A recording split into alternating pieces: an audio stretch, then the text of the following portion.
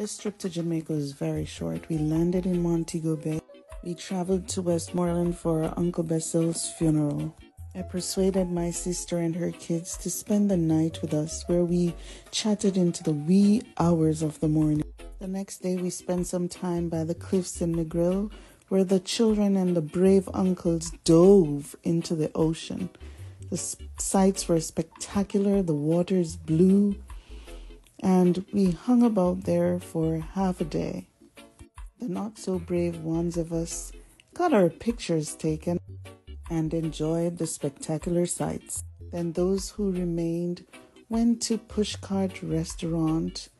The menu was creative, conjuring mouth-watering goodness. There was nothing lacking in the service, and the food was delicious.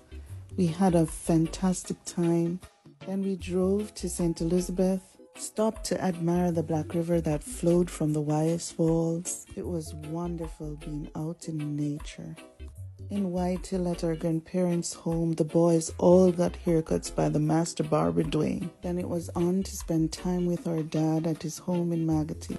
We frolicked at Camp Ari, enjoying the ride, the scenery, and the beauty. We lined together as children once more.